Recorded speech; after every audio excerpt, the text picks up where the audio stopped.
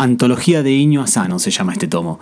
Se trata de una recopilación de historietas cortas que el autor publicó en diferentes revistas japonesas.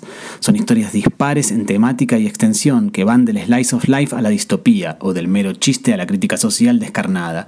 Si hay un hilo que las une a todas o a casi todas, es una carga bastante densa de angustia existencial, un poco emo, un poco adolescente, bastante melodramática, que a mi paladar de señor de mediana edad se le hizo algo empalagosa.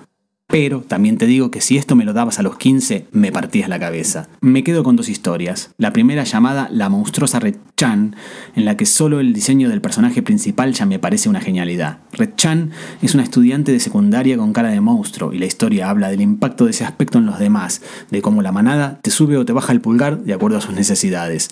La segunda historia que rescato se llama Noche Vieja y es un cuento realista, muy redondo, muy bien narrado sobre la relación de afecto entre una nena y su tío, un poco al estilo de Adrián Tomine o Saliendo del Palo de Raymond Carver.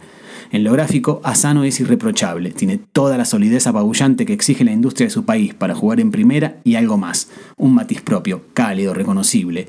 Quizás la historieta en donde mejor se aprecia su arte sea Luces Antibichos, en la que deja de lado los fondos, porque no hacen falta, y se concentra en las expresiones faciales y el clima. Es un relato oscuro en todos los sentidos, visualmente impactante, que no entendí del todo, pero que hizo gozar a mis ojitos.